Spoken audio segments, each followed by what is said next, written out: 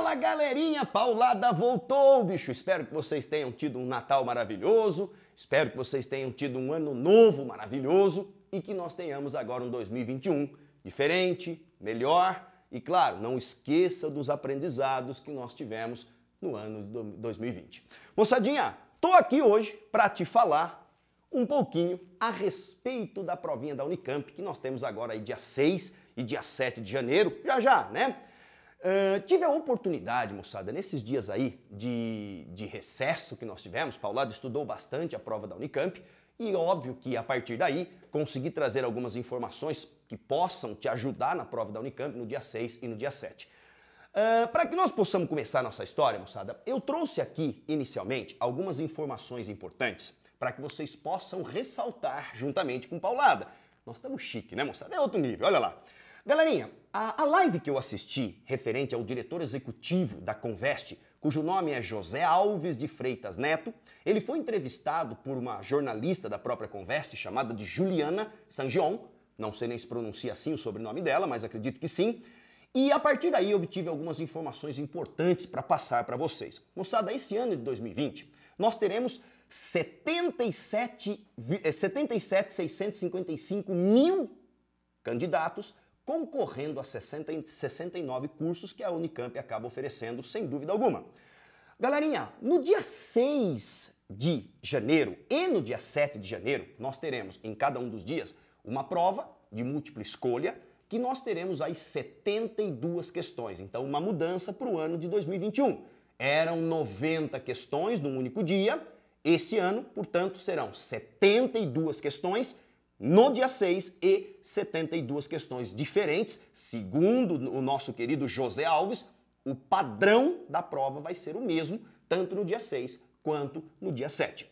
Essa prova, moçada, ela está dividida em 72 questões, 12 questões de português, 12 questões de matemática, 8 questões de biologia, 8 questões de física, 8 de química, 8 de geografia, envolvendo a parte de sociologia, oito de história, também envolvendo a parte de filosofia, e, lógico, oito questõezinhas de inglês, totalizando, portanto, 72 questões. Tanto no dia 6 quanto no dia 7, isso vai acontecer. Provas diferentes, mas segundo o nosso querido José Alves, o padrão será o mesmo. Moçada, no dia 6, a prova vai ser executada para as pessoas que concorrem os cursos de ciências humanas e suas tecnologias, desculpe, ciências exatas e suas tecnologias, e a galera de ciências humanas e artes totalizando um número de 34,24, moçada. 34 mil inscritos para concorrer por essas vagas que estão associadas no dia 6. No dia 7, nós teremos a galera das ciências humanas e saúde, e aí totalizando um número de candidatos de 43.631 candidatos. Moçada, é bastante coisa para que nós possamos observar. Bom, alguns dados técnicos para que vocês possam identificar. Agora, moçada, segundo José Alves, a prova da Unicamp, segundo dados e, e informações citadas por ele mesmo, ela pretende não cobrar aqueles rodapés de livros, aqueles conteúdos mais dificultosos de forma mais específica, mas isso não significa, segundo José, que a prova vai ser mais fácil, mais simples, eles pretendem seguir o mesmo padrão. Os conteúdos que serão cobrados serão os mais básicos, mais triviais, só que com questões muito bem elaboradas, segundo dito por ele. Então, moçada, frase dita por José Alves de, de Freitas Neto. Ele disse que vai ser um grande desafio para os elaboradores de questões para tentar manter o mesmo padrão da prova da Unicamp, mesmo cobrando estes conteúdos um tanto quanto mais, digamos que básicos, triviais. Show de bola? Dadas estas informações, agora me sinto muito à vontade para começar a falar um pouquinho com vocês a respeito das nossas dicas, dos nossos temas de vestibular. Mas antes disso, produção, roda a vinheta!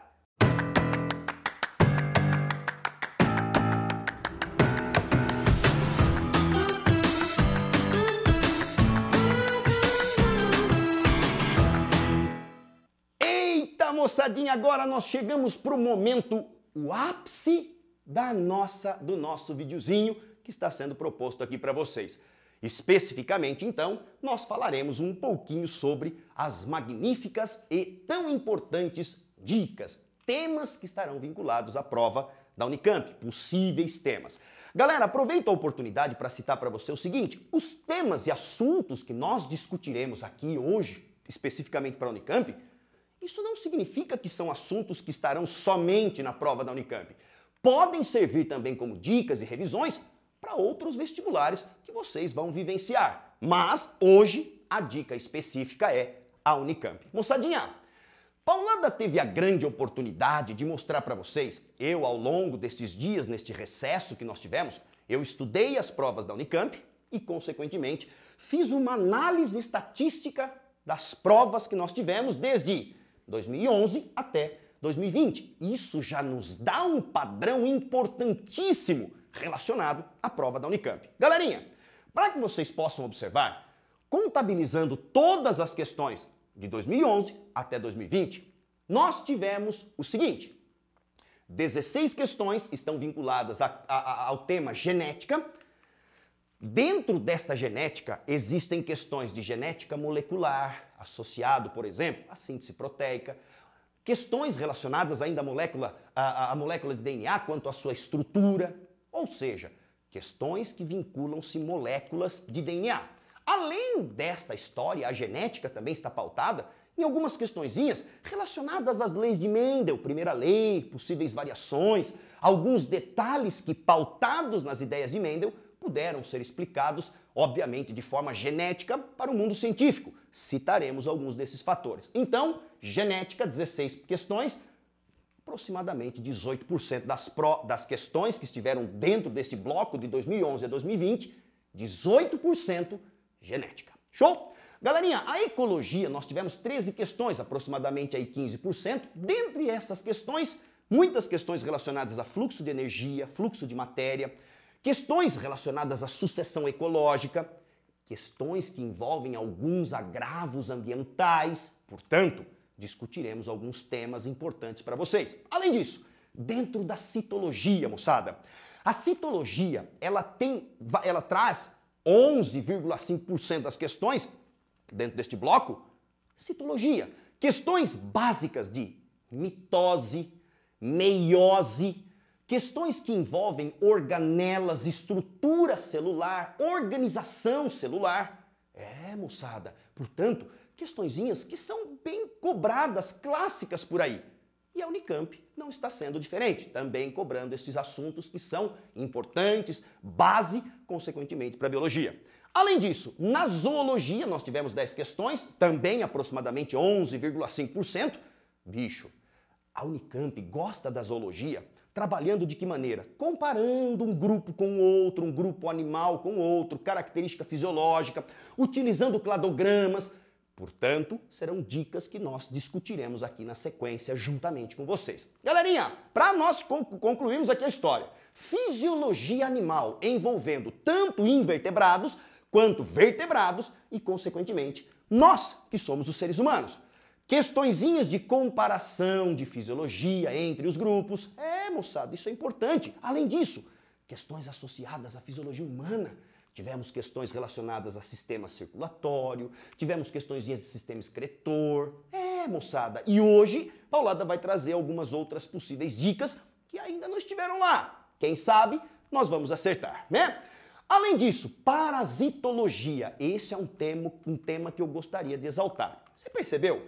Nove questões de 2011 a 2020. Praticamente todo ano tem uma questãozinha de parasito. Ou é vírus, ou é bactéria, ou é protozoário, ou é verme. Galera, esse ano eu tô chutando forte aí algo relacionado a alguma doença viral que possa estar vinculado à contaminação, por exemplo, parecida com a da Covid-19. Quem sabe, né? Portanto, possibilidades que nós discutiremos também na sequência. Bom, galerinha, além disso, entramos na botânica. Ah, deliciosa botânica. Paulada tem um carinho imenso. São nove questões 10,3%. Ó, vou até entrar aqui agora para discutir um negócio legal da botânica. A botânica não é o assunto que mais cai na Unicamp, mas é o assunto que tem mais crescido em número de questões na Unicamp nos últimos anos. Questões relacionadas à reprodução de angiosperma, básico, titular. Galera, entrando aqui na botânica, questões de histologia vegetal. Sabe aquele tema da histologia que você acha difícil, que muitos acabam nem estudando? Bicho, a Unicamp gosta de histologia vegetal, portanto, citarei alguns temas relacionados a essa história. Bom, galerinha, posteriormente nós chegamos questões de evolução, basicamente conceituando Darwin, conceituando neodarwinismo, mecanismos de especiação, a Unicamp é apaixonada por especiação simpátrica, que é aquela especiação que ocorre dentro de um mesmo meio, portanto, vinculado à tal evolução. Histologia animal, já tivemos questõezinhas de tecido ósseo, tecido adiposo, que é um tecido conjuntivo, portanto, histologia presente uma vez ou outra na provinha da Unicamp. E também tivemos até uma questãozinha sobre a origem da vida, vinculando a possibilidade de água para que tenha vida, pautada especificamente nas ideias de Oparim. Moçadinha, o fato de eu ter colocado esta análise estatística é para que você, vestibulando, vestibulanda que está aí me vendo e me ouvindo, possa padronizar e intensificar os seus resumos, as suas revisões dentro daquilo que mais caiu na Unicamp, dentro dos temas que mais estiveram presentes. Portanto, Paulada, você acha que a embriologia existe possibilidade de cair? Sim, mas não é o momento de você ficar gastando tanto tempo com embriologia, sendo que quase não tivemos praticamente embriologia na Unicamp. Então sejamos inteligentes. Essa é a ideia. Revisar aquilo que mais cai ou que mais caiu ao longo destes anos de 2011 a 2020, onde nós temos questõezinhas, testes relacionadas à provinha da Unicamp. Show de bola? Legalzão? Análise tranquila, estabelecida, portanto agora Vamos socar bota nas dicas importantes, nos possíveis temas importantes, né, moçada? Pera lá, a produção vai me dar uma toalhazinha aqui, ó. Tá calor aqui, né? Precisamos usar aí mais o ventilador, o ar-condicionado, né, moçada? Coisa linda, show de bola. Vamos lá. Galerinha, olha lá, ó. Tranquilão. Então vamos agora. Ah, bicho, agora nós vamos começar a socar a bota de forma geral. Moçadinha, quero começar pela citologia. Vamos lá? Quem sabe Pauladinha consegue. Sabe aquele, aquele tema que geralmente sempre está presente? Pois é, moçada. Quem sabe possa estar também na provinha da Unicamp. Galera, conceitos básicos importantes. Quero começar falando células procariontes, organização celular. Vocês estão observando aqui uma maravilhosa bactéria. Galera, dentro deste primeiro padrão, o que, que eu gostaria que você, aluno vestibulanda, jamais esquecesse? Quando nós falamos de um fator relacionado às células procariontes, as células, elas são desprovidas de núcleo, não têm organização nuclear, fechou? E além disso, o material genético, que é o nucleóide, que corresponde a este conjunto de DNAs, não são muito numerosos não, viu moçada? Mas é um emaranhado de moléculas de DNA que estão vinculadas a serem chamadas de nucleóide. Ah, que legal, né? E além disso, nós observaremos este material genético disperso, mergulhado, portanto, na parte líquida desta célula. Galerinha, importantíssimo! Qual a organela importante que nós encontraremos nos seres procariontes? Os magníficos ribossomos, importantes pela síntese proteica. Paulada, me dá exemplos de seres procariontes? Claro, as bactérias, as árqueas, as cianobactérias, portanto, toda essa galera são definidos desta forma. Show? Legal. Galerinha, uma segunda condição para que nós comparemos de forma significativa são as células eucarióticas, né? É, moçada, olha só. Galera, uma célula eucarionte Existem várias hipóteses que estão relacionadas à possibilidade de formação deste núcleo em vaginações de membrana proposta por Robertson, né? Enfim, Galerinha, este núcleo agora aqui está presente, portanto definimos células eucariontes. Ou seja, o que é uma célula eucarionte? É aquela que será portadora de um núcleo de forma organizada, que vai apresentar características padrões. Paulada, o que é importante que nós saibamos? São portadores, então, de núcleo, não esqueça, e além disso, várias organelas, dentre elas, retículo endoplasmático liso e rugoso, né? Lembrar que o liso é importante para transporte de componentes dentro da célula. É, moçada, um conjunto de membrana interna que aumenta a superfície interna da célula, palco de reações enzimáticas.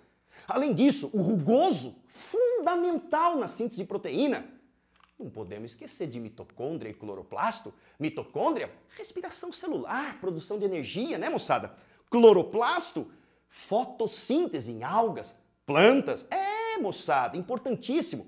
Você lembra de uma organela chamada de centríolo, que não é membranosa, conjunto de tubinhos de proteína, microtúbulos? Pois é, bicho, o centríolo ele está associado à informação daquele filamento proteico que permite a divisão do material genético, produção de cílios, flagelos, é, moçada, quanta coisa boa. E o sistema golgiense, lembra dele? O sistema golgiense, ele está intimamente associado em empacotar, colocar, portanto, dentro de vesículas e secretar conteúdos para o meio externo. Basicamente, algumas organelas para que vocês pudessem lembrar. Agora, vamos destacar o núcleo, que é esse que eu acho que pode aparecer para você na provinha da Unicamp. Galera, peguei esse núcleo e ampliei para que vocês possam observar juntamente comigo. O núcleo, ele é composto obrigatoriamente, eu vou repetir, obrigatoriamente, composto de um envelope nuclear formado por uma bicamada fosfolipídica, presença de poros nucleares que vão permitir com que conteúdos internos do núcleo possam sair ou conteúdos possam entrar. Além disso, moçada, o próprio material genético, que nós chamamos aqui de cromatina, porque ainda ela está desespiralizada, e por fim, o magnífico, ou quase por fim, o magnífico nucleolo paulada. Eu digo, oi, o que, que é o nucleolo? É uma região do núcleo onde tem um material genético responsável por produzir um monte de RNA ribossômico chamamos de zona SAT ou região organizadora do nucleolo. Maravilhoso! E por fim, o tão conhecido nucleoplasma ou cariolinfa, que é a parte líquida que está dentro do núcleo. Se ligou? É, moçada, isso é organização nuclear. Paulada babô. Isso chama-se organização nuclear. Não dá para você chegar na prova da Unicamp sem ter esses dados. Agora, Pautado nestas duas comparações de procariontes e eucariontes, eu gostaria de trazer para você uma teoria importante, moçada, importantíssima, proposta por uma pesquisadora. Vamos lá? Teoria endossimbiótica. Lynn Margulis. Você já ouviu falar em Lynn Margulis ou não? É, ela trabalhou com taxonomia, classificação dos seres vivos. A última classificação que nós temos está associado com esse ser humano. É, moçada, Lynn Margulis. Show de bola. 1981, ela propôs para nós o que nós chamamos de teoria endossimbiótica. Galera, o que é a teoria endossimbiótica? Olha que figurinha bonitinha para que nós possamos identificar. Segundo esta teoria, ela diz o seguinte: que organelas como mitocôndrias, inicialmente, eram seres procariontes, bactérias, que conseguiram, obviamente, serem incorporadas por células eucariontes e a partir daí, essas bactérias, vivendo nas células eucariontes, foram muito positivas devido ao fato de produzir energia disponível para esta célula. E por esse motivo, hoje, nós encontramos as mitocôndrias presentes nas células eucariontes. Então, por favor, moçada, mitocôndria é teoria endossimbiótica. Era uma bactéria que invadiu, durante o, processo de formação de células eucariontes, acabou invadindo e está vivendo junto. Um mutualismo, né? Ótimo.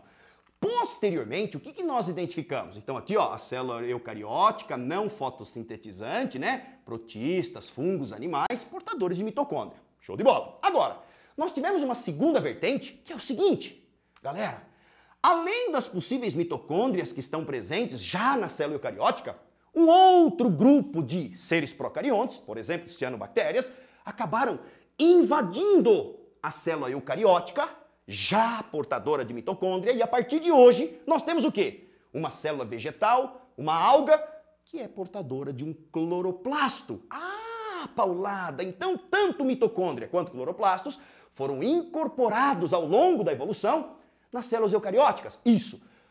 O que, que nós temos de prova para tentar pensar que essa teoria ela realmente é algo viável e verdadeiro? Moçada, tanto cloroplasto quanto mitocôndria são portadores de material genético. Tanto mitocôndria quanto cloroplasto são portadores de ribossomos e, portanto, apresentam capacidade de autoduplicação sem depender plenamente das condições das células. Ah, moçada, que coisa importante. Então, guarde com carinho teoria endossimbiótica. Legal? Olha quanta coisa boa na citologia nós já tivemos oportunidade de discutir. Vamos prosseguir, moçada? E agora o negócio tá esquentando, hein, bicho? Literalmente tá esquentando. Vamos lá. Galerinha, agora nós vamos entrar num fator importante. Peraí que Paulada vai dar uma beiçada na água aqui, segura aí. Nós vamos entrar num fator importante agora,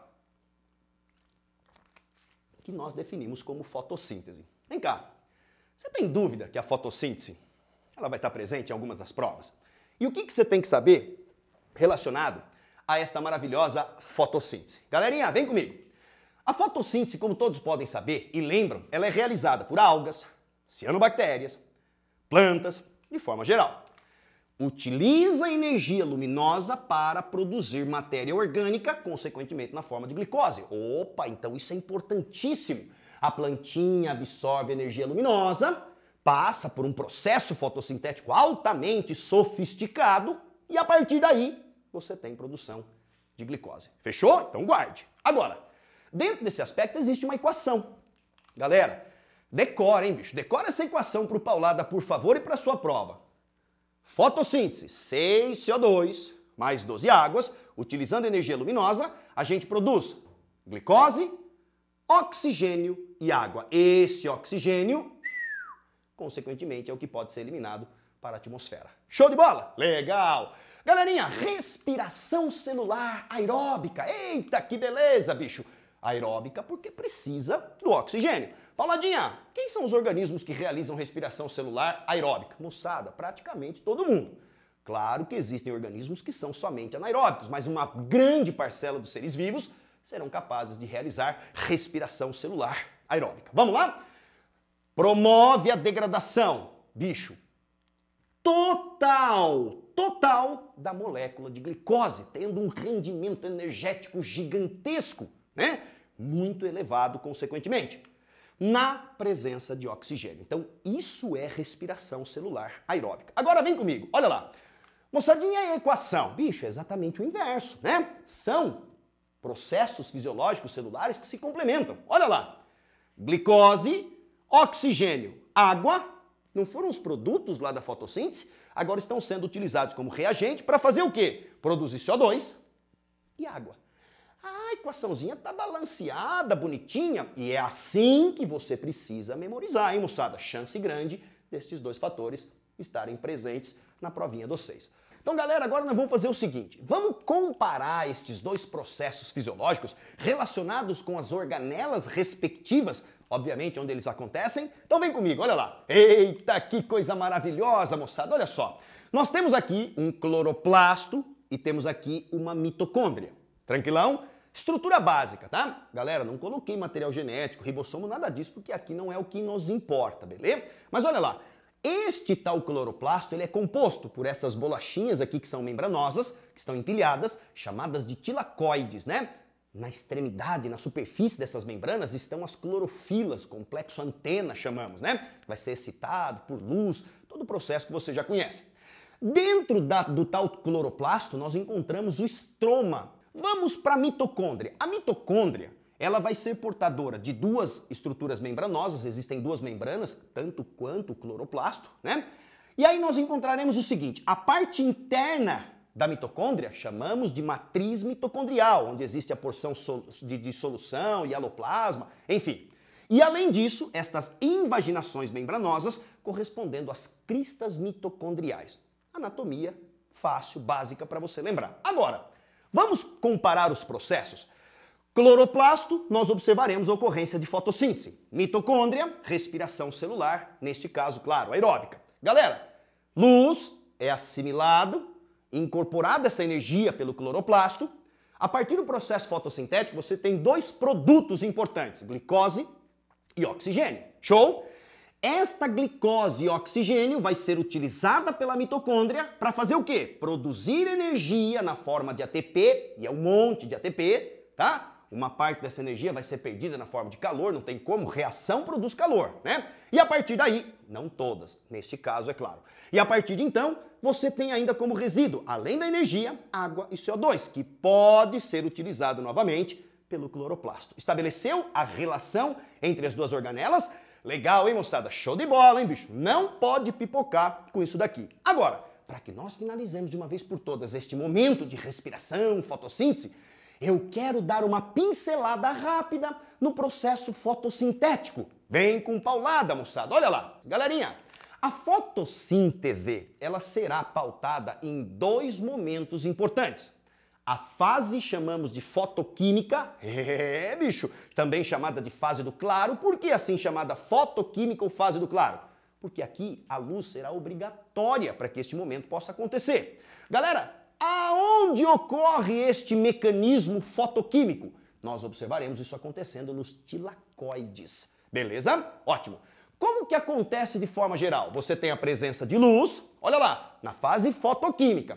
Você tem, na presença de luz, você vai permitir com que a clorofila seja excitada, vai liberar elétron, vai promover a produção de ATP, beleza? Então, na fase fotoquímica, como um dos produtos já o ATP. Outro componente importante que entra nesta fase, moçada, chamada fotoquímica, é a água.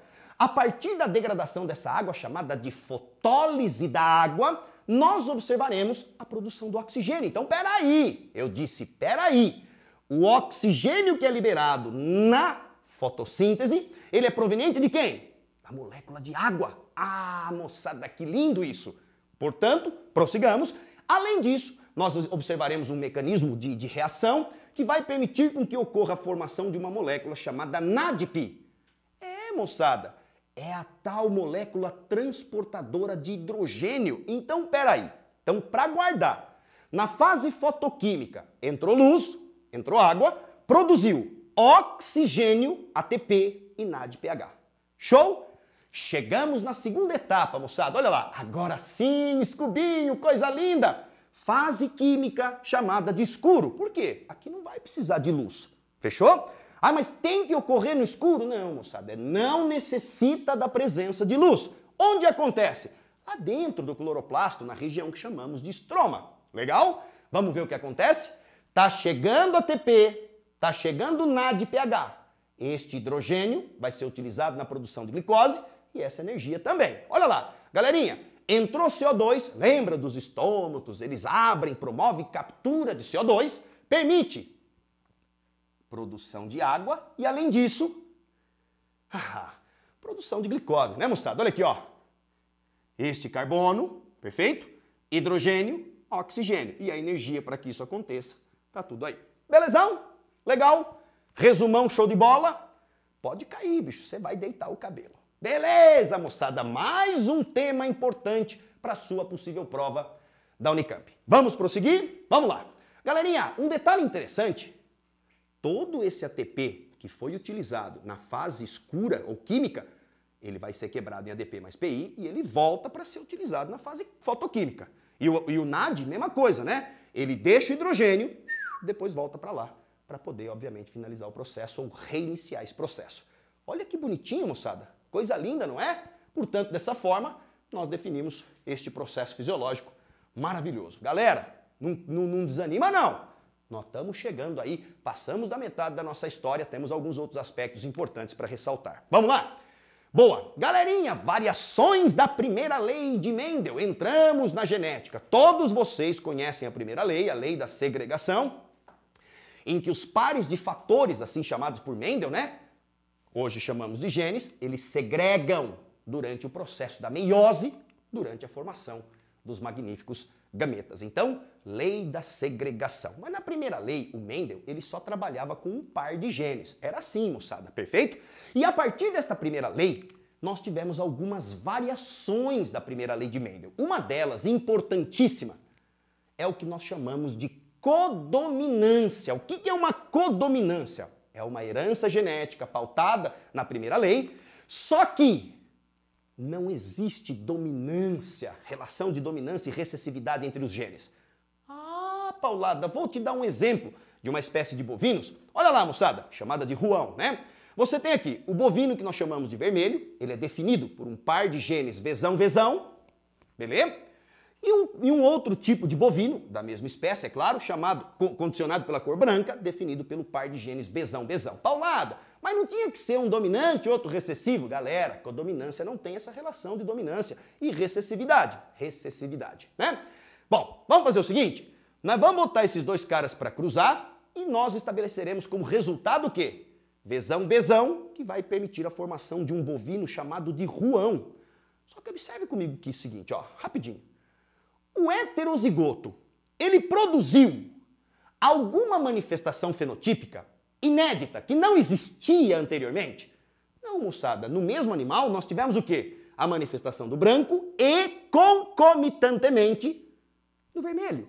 Isso é codominância. Você não produziu um, um, fenótipo completamente novo, inédito. Não, você permitiu que os dois que já existiam pudessem ser manifestados agora no mesmo organismo, devido estar vinculado a uma heterogeneidade. Legal. Galerinha, vem comigo, olha só. Quando nós cruzamos dois ruão, VB com VB, você tem uma relação, uma proporção fenotípica que é a seguinte: um vermelho para dois ruão para um branco. Portanto, aquela proporção da primeira lei que vinculava a, a, a dominância e recessividade, lembra? 3 para 1, aqui não. Na codominância é 1 para 2 para 1. Estou falando de manifestação fenotípica, né, moçada? Show de bola? Entendeu? Se ligou o que é codominância? Questãozinha disso é clássico na prova da Unicamp. Só que você vestibulando, você vestibulanda, você não pode titubear, bicho. Você tem que se ligar nisso aqui, ó. Herança intermediária é a mesma coisa que codominância? Não, não, não, não. Ambos não vão apresentar dominância entre os genes. Porém, olha a diferença da herança intermediária. Olha o nome. Tem uma plantinha que manifesta coloração branca nas pétalas, azão, azão. Tem uma outra plantinha manifestando pétalas vermelhas. Bezão, bezão. Show? Paulada não tinha que ser o dominante e o recessivo. Galera, aqui não tem relação de dominância e recessividade. Quando nós cruzamos esses dois indivíduos, ele produz um fenótipo diferente, intermediário em relação àquele que existia. Olha como é diferente. Esse aqui, ó, misturou os dois no mesmo indivíduo. Aquele produziu algo diferente. Se ligou? Ótimo. E aí? quando nós cruzamos agora as duas plantinhas rosas, que tem é, é, genótipo heterozigoto, nós teremos um besão besão, que seria o vermelho, para dois azão, azão besão, que seria dois rosas, para um branco. Ou seja, a proporção é a mesma da codominância. Um para dois para um. Porém, na herança intermediária, você criou um fenótipo diferente dos dois que existiam. Cara, eu fico até emocionado em falar isso para vocês. Isso vai aparecer em alguma prova, tenho certeza do que eu estou falando. Show de bola? Vamos prosseguir? Paulada vai dar uma beiçada aqui na água, hein, moçada? Olha lá, ó. Rapaz, quanto tema bom nós já passamos, né, moçada? Vamos falar agora um pouquinho. Ah, meu amigo, minha amiga, vamos lá. Ah, que delícia, né? Santa água. Paulada tá até fazendo propaganda aqui. Olha lá, ó. Vamos nós. Galerinha, já ouviu falar em ligação fatorial? Ó, esse tema, chamado de linkage ou ligação fatorial, ele está pautado nas ideias de Mendel, porém, ele foi criado por Thomas Morgan posteriormente às ideias mendelianas. Beleza? Galerinha, então vamos lá. Primeiro, tipo de herança genética em que podemos encontrar dois ou mais genes que estejam ligados no mesmo cromossomo Paulada, que papo é esse, bicho? Genes que estão ligados no mesmo cromossomo? Pois é. Se você lembrar comigo, a segregação independente, que era a segunda lei, os pares de genes estavam em cromossomos homólogos distintos. Por isso, tinha segregação independente. Aqui não. Olha comigo. Isso aqui faz menção ao cromossomo, este também, tá? Então, os pares. Percebam que o gene azão está ligado no mesmo cromossomo ao gene besão. Bicho, isso é ligação fatorial. Claro que eu não quero enfatizar isso, mas existe até uma unidade para poder, consequentemente, medir esta distância, chamada de morganídeo, tá? Ou unidades de recombinações, como vocês queiram. Galera, o que, que eu quero mostrar aqui para você? Se os genes do... Agora existe dominância e recessividade, tá? Se os genes dominantes estiverem ligados no mesmo cromossomo e os recessivos ligados no mesmo cromossomo, você diz que este linkage tem posição cis. Dominantes, recessivos. Agora, se você observar dominante, recessivo ligado, recessivo dominante, o que, que nós estamos observando? Esta é a posição trans. Ó, posição trans. Ah, Paulada, show de bola, bicho, entendi. Agora, moçada, o que, que nós temos que entender? O linkage, ele vai permitir para a gente avaliar porcentagens de gametas dentro de um número de células que sofrem meiose, que serão denominadas como recombinantes, ou seja, que vão ser recombinadas por crossing over ou crossover, como você queira, durante o processo de meiose. Só que é o seguinte, antes de nós entendermos uma possível questão de linkage, eu gostaria de colocar para você o seguinte, moçada, olha para mim. Eu vou te mostrar um processo de meiose sem crossing over e depois um processo de meiose com crossing over para te mostrar a formação dos gametas. Aproveito já para falar de meiose, vai cair meiose na sua prova, bicho. Olha lá, então vem comigo. Galerinha, dá um zóio. Ligação fatorial completa é aquela completa pelo fato de não ter crossover, não vai ter quebra, não vai ter troca de segmento entre os homólogos, tá? Olha lá comigo, ó. Facilmente para você observar. Estou partindo eu de uma célula 2N, né? Como vocês podem observar, 2N igual a 2. Galera, azão e bezão estão ligados no mesmo cromossomo, azinho e bezinho no mesmo. Então é uma célula cis, né? Sem crossover, nós separamos os homólogos, azão e bezão foi para uma célula, azinho e bezinho foi para outra. Depois meiose 2, separação dos, das cromátides irmãs, eu tenho uma, um gameta azão bezão, outro azão bezão, um azinho bezinho, outro azinho bezinho. Ou seja, sem crossover, 50% de cada um desses gametas. Beleza? Fácil, né, moçada? Agora vamos para o outro con conteúdo. Olha aqui. Agora a ligação fatorial ela é incompleta. Por quê? Vai ter quebra, vai ter crossover, vai ter troca. Deu uma gagueja. Vai ter troca, né? Entre os segmentos, entre os homólogos. Portanto, vem comigo. Olha lá. Mesma coisa, moçada. Uma célula cis, azão e bezão ligados, azinho e bezinho ligados. Só que aqui eu já estou mostrando o crossover. Na meiose 1, olha o que aconteceu. Separamos os cromossomos homólogos, só que agora ficou azão, bezinho, desculpe, ficou azão, bezão, azão, bezinho. Opa, esse bezinho não estava aqui? Pois é. E a célula de lá? Azinho, bezão. Então você percebeu que o bezinho e o bezão eles foram trocados, né? A partir daí, quando nós promovemos a meiose 2, o que, que você tem? Uma célula azão, bezão, uma célula azinho, bezinho, uma azão, bezinho e uma outra azinho, bezão eu aumentei estas duas possibilidades. Então, esses dois gametas que não existiam na célula original são chamados de recombinantes. É, bicho. E ó, qual a proporção esperada? 25% de chance para cada um deles. Lembrou? Meiose sem crossover e com crossover? Agora eu vou te dar uma questãozinha possível de aparecer na sua prova. Vamos lá?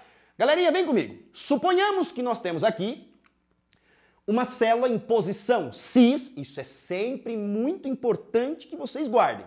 Imaginemos que nós estamos num laboratório que existem 100 células que serão azão bezão, azinho bezinho, portanto cis. Ó, isso aqui é uma representação de linkage. Estou dizendo que esses dois genes estão ligados. Perfeito? Olha lá, azão bezão, azinho bezinho. Moçada, vamos considerar que 12% destas 100 células sofreram crossover. Beleza? Vamos fazer uma análise? Qual é a porcentagem final de gametas após o processo de divisão destas células, de todas estas 100 células? Vamos primeiro avaliar o seguinte: sem crossover, como que seria? Olha lá, galerinha, gameta azão bezão, 44%. Peraí, Paulada, por que 44%? Não era 50%? Pois é. 100 células, 12% sofreram cross. Então agora nós não temos mais 100 células que estão realizando meiose sem crossover, e sim 88. Ah, então é 50% de 88. Isso. Azão bezão, 44%. Azinho bezinho, 44%. Ou seja, cross, sem crossover, são esses dois gametas nestas porcentagens dentro do que nós expusemos a vocês. Agora, com crossover, moçada, olha lá comigo, ó. Nós encontraremos o seguinte. Primeiro, azão bezão, 3%, mas por que 3? Não são somente 12%, serão formados quatro gametas. Cada um deles com 25% de chance, então 12 dividido por 4, geralmente dá 3. Olha lá. 3% de azão bezinho, 3% de azinho bezão e 3% de azinho bezinho. Galera, qual é a soma total de gametas que nós teremos a partir destas 100 células? Fácil. Olha lá para o ó. 47%, por que 47? 3 mais 44 serão azão bezão. Beleza? Vamos lá pro fim? 47% serão azinho bezinho. 3 mais 44. E nós teremos 3% azão bezinho, 3% azinho bezão. Paulada, qual é a taxa de permuta que tem nesta célula? Galera, nós identificaremos o número de gametas recombinantes, a porcentagem de gametas recombinantes, totalizando 6%. Show de bola? Ó, possível que caia essa questão para você, hein, bicho? Fique esperto quanto a esta situação. Eita, linkage, você vai aparecer, tenho certeza. Vamos prosseguir, moçada? Ficou claro isso para todos nós? Legalzinho, bicho. Então vamos lá. Galera, nós vamos entrar agora num assunto, cara, que ele é extremamente importante para todos nós e mais uma vez tem uma chance gigantesca de aparecer para você nas suas provas. Chamamos de conquista do ambiente terrestre, especificamente pensando cordados, vertebrados, né? E para isso, galera, olha o que o Paulada trouxe. Eu trouxe um cladograma bonito que mostra para você desde o surgimento dos cordados, portanto, portadores de notocorda. Então, olha que legal. Todo cordado tem que ter notocorda, pelo menos na fase embrionária, fendas faringianas, tubo nervoso dorsal. Beleza? Isso é regra, todo cordado. Galera, nós temos aqueles chamados de protocordados, assídia e anfioxo. Não quero perder tempo com isso. Nós temos posteriormente os ciclóstomos, que é o primeiro grupo de vertebrados, feiticeiro e lampreia. E aí nós entramos, obviamente, nos peixes peixe cartilaginoso, condricte, que é o maravilhoso tubarão, peixe ósseo, né, ou osteicte, e aí, moçada, nós entraremos nos tetrápodas. Quem são os tetrápodas? São aqueles que apresentam quatro membros locomotores. Ah, paulada! Então, a partir desse momento, nós começamos a observar pernas. É, galerinha, eu coloquei algumas características para que se você posteriormente quiser avaliar ou talvez até memorizar, tá aí bonitinho para você ver. Mas a minha ênfase vai ser aqui, ó de anfíbio para réptil. Ó, de anfíbio para réptil, qual foi o grande ou quais foram os grandes fatores que permitiram com que estes répteis pudessem ter um sucesso maravilhoso nesse ambiente terrestre? Mas calma aí. Galera, a partir do momento que você teve o surgimento de Amnion, nós começamos a identificar o primeiro grupo de répteis. Répteis primitivos que nós encontramos lá do passado, que deram origem a tudo o que nós conhecemos hoje como os répteis atuais, aves e mamíferos. Tudo bem? Então a minha ideia é, em uma dica anterior, se não me engano foi da própria Famema, ou em algum momento, eu já discuti alguns aspectos relacionados à adaptação de voo. É, pena, a, a, a quilha, né? Para melhor quantidade de músculos peitorais, vários detalhes importantes. Osso pneumático, sacos aéreos, isso para as aves. Mas agora o detalhe é o seguinte, galera, o que, que os répteis tiveram para apresentar este sucesso evolutivo no ambiente terrestre. Bicho, vou até largar meu controlezinho agora aqui porque o negócio vai ficar legal.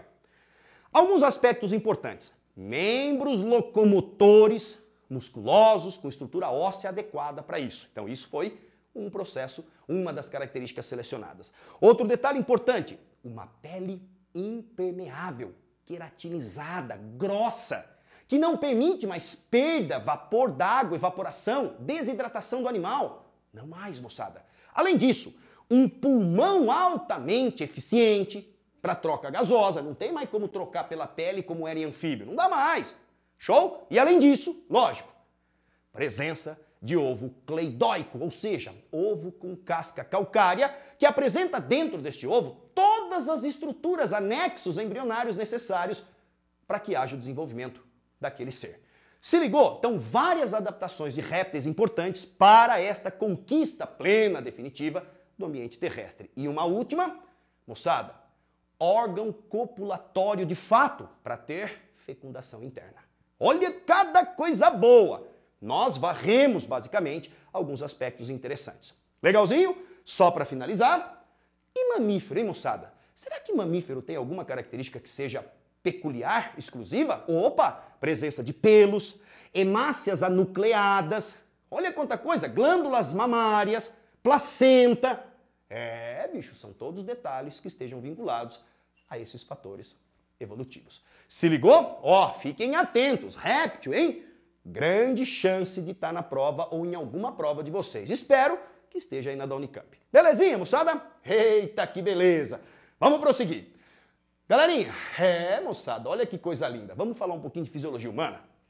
É o seguinte, sistema nervoso periférico. O que, que é um sistema nervoso periférico? Primeiro, o sistema nervoso humano, ele vai ser dividido em um sistema nervoso central, que é o seu encéfalo e a sua região medular, beleza? E o sistema nervoso periférico, que corresponde ao quê? Moçada, aos nervos, sejam eles sensitivos ou motores, e possíveis gânglios nervosos, que são as regiões onde os corpos celulares promovem as tais sinapses, conexões entre eles. Tranquilão? Ótimo. O que, que eu quero falar para você? Por que somático? Somático porque está associado especificamente a permitir contração de musculatura estriada esquelética, que faz parte do movimento do teu corpo, do teu corpo de forma geral, beleza? Galerinha, quem nunca viu essa figurinha aqui? É, bicho, clássica. Reflexo medular. Primeira pergunta que eu quero fazer para você. Você sabe a diferença de ato-reflexo e arco-reflexo? Paulada, ato-reflexo, arco-reflexo é a mesma coisa, né? Não, Eu disse, não, não, não. Não é. Ato reflexo é a ação. Vou te dar um exemplo. Imagine que você está na sua casa, relaxando, distraído, quando repentinamente aquele seu camarada, ou geralmente o seu irmão mais velho, ele vem com um alfinetezinho tum, e dá uma furadinha em você, ou com o garfo, alguma coisa. Qual é a sua reação? Imediatamente você tira o braço. Isso é o ato reflexo, é a ação que você exerceu em função de estar sendo estimulado dessa forma. Agora, o que é o arco? é o caminho percorrido pelo impulso nervoso desde o momento do estímulo até a sua ação.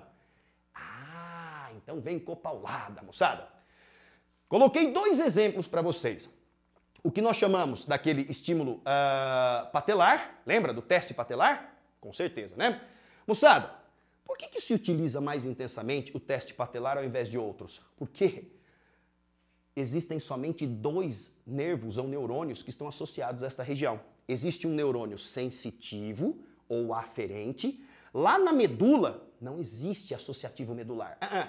É direto o motor, chamado de eferente. Então, ó, por isso que o patelar ele é mais facilmente testado.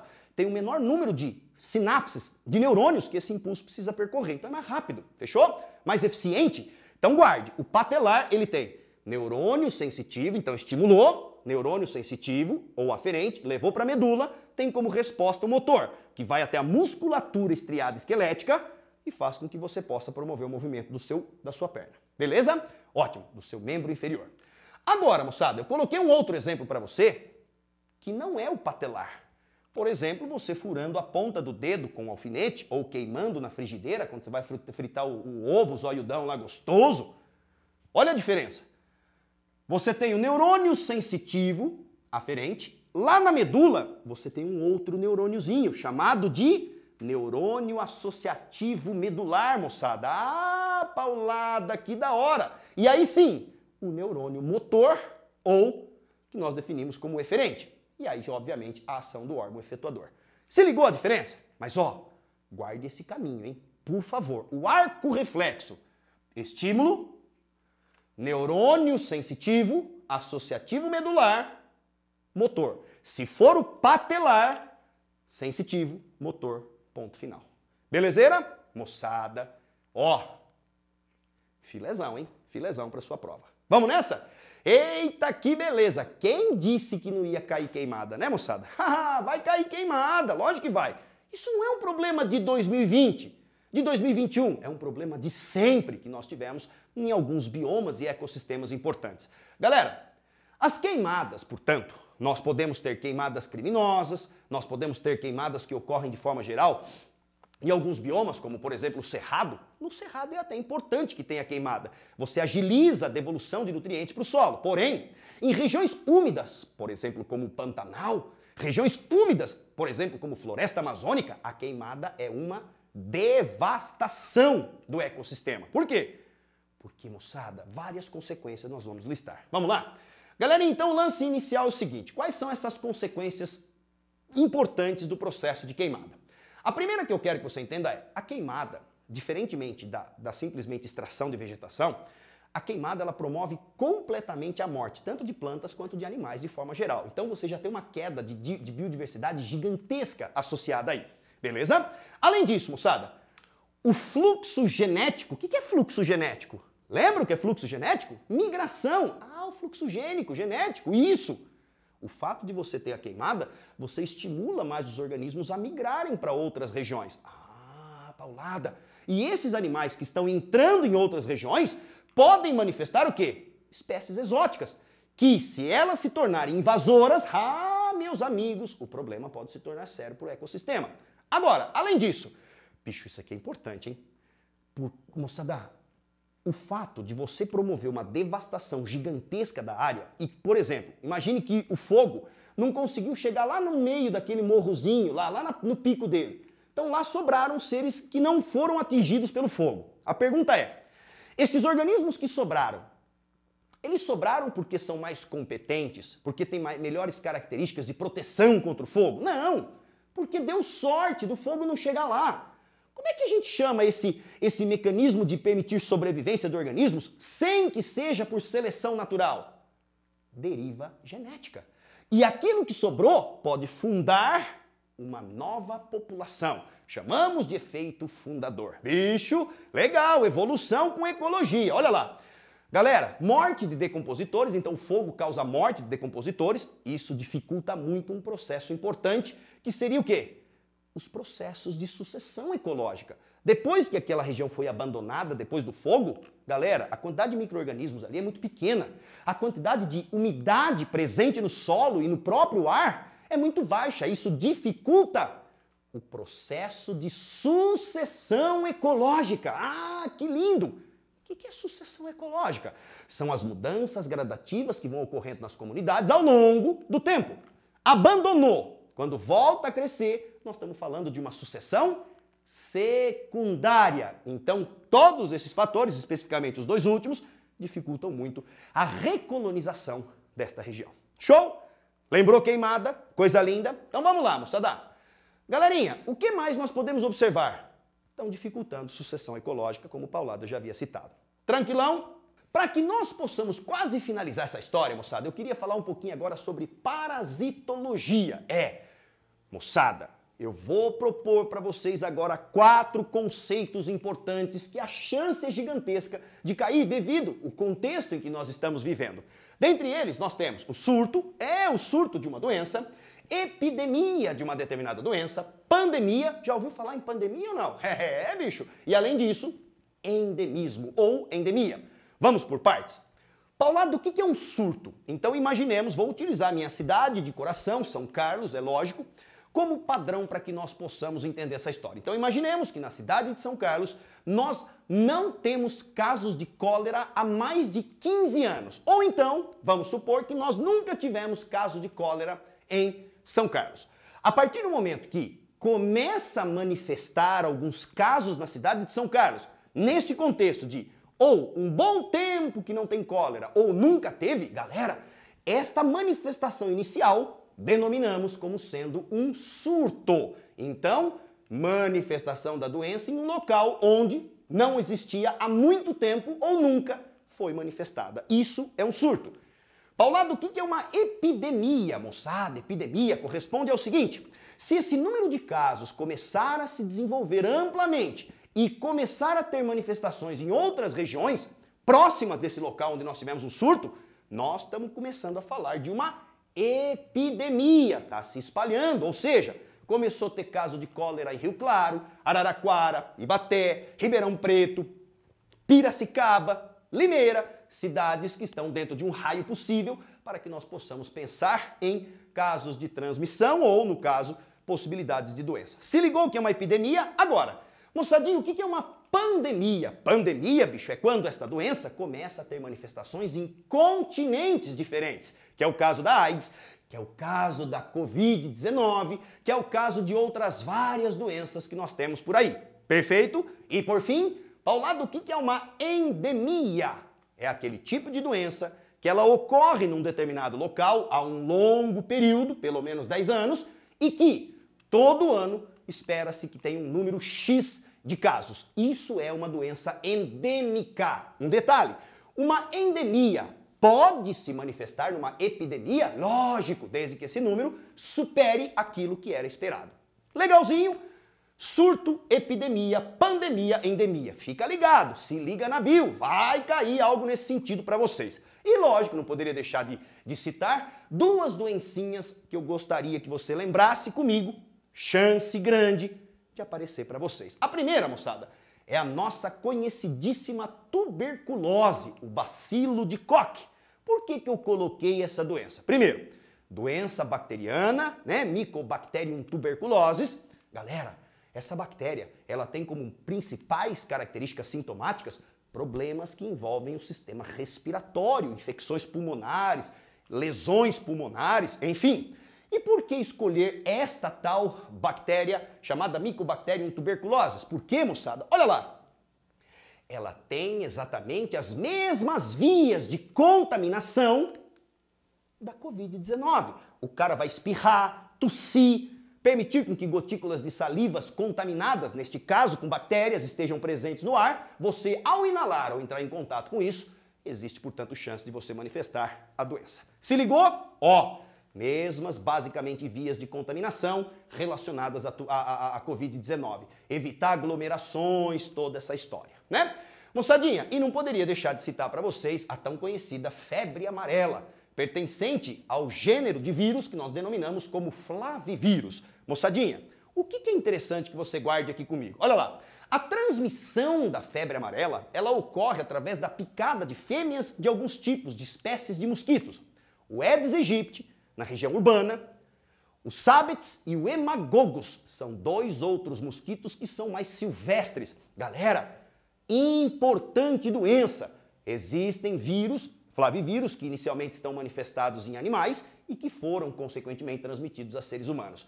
É, moçada, lembra daquela história da febre amarela? Ah, e uma galera matando os macacos que estavam contaminados? Pois é, bicho, na verdade não tem que matar o macaco, pelo amor. Vamos inibir a proliferação dos mosquitos transmissores. Lembre-se, Aedes aegypti, urbano, Sabets e Hemagogos são dois outros exemplos, só que esses são silvestres.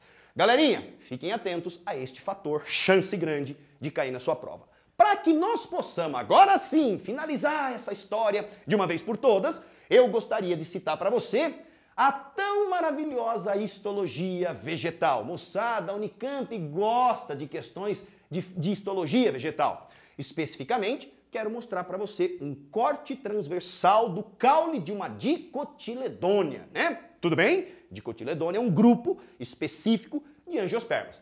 Moçadinha, peguei um pedaço deste caule, cortei transversalmente, ampliei para você um setor circular. Manja, setor circular, tá aí, o um pedacinho da pizza para você ver, né? Galera, o que é importante você ressaltar comigo, bicho? Veja só, existem tecidos que você precisa identificar com grande clareza. Dentre eles, vamos lá de fora para dentro, Suber, felogênio, feloderma. Peraí, Paulada. Estes três primeiros tecidos, nós podemos classificá-los como um único nome? Pode, você pode chamar de periderme. Suber, felogênio, feloderma, periderme. Depois nós temos floema, temos o câmbio vascular e o xilema. E aí na região central, medula ou tecido parenquimático medular. Moçada, o que, que eu quero destacar com vocês? Primeiro, o suber é um tecido morto de revestimento, é a rolha, a cortiça que você conhece. Fechou? Agora, felogênio e câmbio vascular são dois tipos de tecidos meristemáticos secundários. Opa, peraí! O que, que significa um tecido meristemático secundário? Guardou esta sequência? Guarde estes tecidos, hein? Xilema, floema, câmbio, feloderma, felogênio, suber. Na sequência é importante. Galerinha, dá um zóio comigo. Vamos finalizar essa história. Todo tecido meristemático secundário, ele é capaz de sofrer desdiferenciação. Paulada, que nome, que palavrão é esse? Desdiferenciar, moçada, significa o quê? Olha lá, readquirir. Então imagine que um tecido, um determinado parênquima, ele readquire capacidade de sofrer divisão mitótica e diferenciações de células. Ah, Paulada, por esse motivo é que nós consideramos aqueles tecidos como meristemas secundários? Isso, eles se proliferam e promovem o crescimento em espessura do caule. Ah, que delícia, moçada! E aqui eu acho que nós teremos uma questãozinha importante da Unicamp. Galera, se nós pegarmos, portanto, um caule, um tronco, eu cortei transversalmente, seria interessante que este vegetal fosse de uma região temperada, onde os, os, as estações do ano são teoricamente mais bem definidas, um período do ano, praticamente seis meses, muito chuvoso, e um período do ano praticamente bastante seco, ou mais seco, né? Você pode perceber, moçada, que devido àquele câmbio vascular que eu te mostrei anteriormente, ele é capaz a todo momento de desdiferenciar, portanto, ele produz constantemente novos vasos chilemáticos. Só que esses vasos eles podem ser produzidos em dois momentos: no momento de chuva, num período do ano, e no momento mais seco. Conclusão da nossa história. Se nós avaliarmos cada uma dessas estrias que vocês estão observando, vou pegar duas delas, moçada. Uma mais fininha, que está mostradinha aqui mais escuro para você, e uma mais larga, que está entre as linhas escuras, tá? Se você observar esta linha mais, mais fina, mais realçada, mais escura, nós chamamos isso aqui de anel estival. O que é um anel estival? São os chilemas que foram produzidos no momento do ano em que tinha pouca chuva, ou seja, pouca água para transportar. Portanto, percebam que os vasos chilemáticos, as células são mais grossas, né? Você percebe que as paredes são mais grossas, a quantidade de chilema é menor, porque não tinha tanta água para conduzir. Agora, os anéis que nós chamamos de primaveris, que são aqueles que se manifestam em momentos de chuva do ano, Observem, moçada, que o diâmetro interno ele é muito maior. Por quê? Está conduzindo mais água. Então quer dizer que se eu somar um anel estival mais um primaveril, eu tenho aproximadamente um ano de existência dessa planta? Pois é, moçada, graças a isso, se você contabilizar essas estrias, estival, primaveril, estival, primaveril, a cada par corresponde mais ou menos um ano de vida dessa planta. Se você souber o número de estrias, de anéis, no caso estival ou primaveril, você consegue definir mais ou menos o tempo de existência deste vegetal. Show, moçada! Finalizamos, portanto, essa história. Então, quero aproveitar nesses minutos finais, primeiro, agradecer a sua presença, desejar você uma ótima prova da Unicamp. Galera, concentra, prepare-se emocionalmente, fisicamente, sem extrapolias que possam, consequentemente, descontrolar o seu emocional, se é que você me entende. E aqui, Paulada, só tem algo a dizer. Que vocês todos, queridos e queridas que estão aí me ouvindo, que vocês façam a melhor prova da vida de vocês. Moçadinha, uma boa prova, dia 6, dia 7, e eu espero que eu tenha ajudado um pouquinho vocês e que, de novo, como nós fizemos na FAMEMA, que nós acertemos alguns temas. Ó, um beijo no seu coração. Mais uma vez, obrigado pela sua presença. Até a próxima. Se liga na Bio. Valeu, galera. Até a próxima.